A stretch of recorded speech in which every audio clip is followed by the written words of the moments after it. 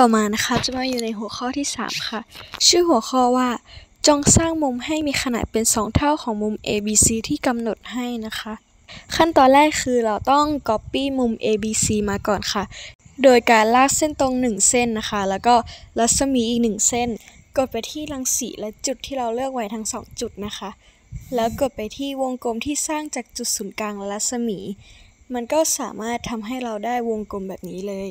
โดยวงกลมนี้นะคะ จะเปรียบเหมือนวงเวียนค่ะ เราจะสังเกตได้ว่าถ้าเราขยับรัศมีเนี่ย มันจะทำให้วงกลมทั้งสองอันนี้นะคะ จะขยับหมุนตามกันไปด้วยค่ะ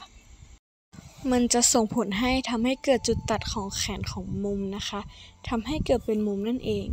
เราก็ลากเส้นตรงผ่านไปเลยค่ะ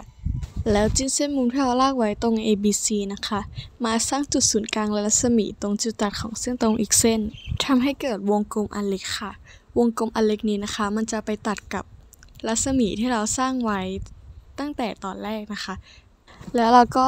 ลากรังสีค่ะ แค่นี้นะคะมันก็จะทำให้เรามีมุมสองมุมที่มีขนาดเท่ากันแล้ว ถ้าเราอยากทราบว่ามุมสองมุมนี้เนี่ยมีขนาดเท่ากันไหม ก็คือเรากดแขนของมุมทั้งสองเส้น แล้วกดไปที่การวัด แล้วกดมุม มันก็สามารถวัดมุมให้เราได้แล้ว แล้วสองมุมนี้นะคะ ก็มีขนาดเท่ากันก็ถือว่าใช้ได้เนาะค่ะก็ต่อมานะคะเราจะมาสร้างมุมให้มีขนาดเป็น 2 เท่าของมุม ABC ค่ะ โดยการ จิ้มเส้นมุมที่เราสร้างไว้ตั้งแต่ตอนแรกนะคะแล้วมากดจุด J จะทำให้เกิดวงกลมอันเล็กเหมือนกันค่ะ สังเกตได้ว่าวงกลมอันเล็กนี้นะคะ จะเท่ากับวงกลมอันเล็กที่เราสร้างไว้ก่อนหน้านั้น เพราะว่าเราสร้างจากมุม ABC เดียวกันนั่นเองค่ะ แล้วเราก็จะมาวัดนะคะว่า มุมที่เราสร้างไว้เนี่ยมันมีขนาดเป็น 2 เท่าของมุม ABC ตามโจทย์หรือเปล่าสรุปนะคะก็ได้ตามที่โจทย์บอกค่ะ เพราะว่า 38.86 นะคะ คูณ 2 ได้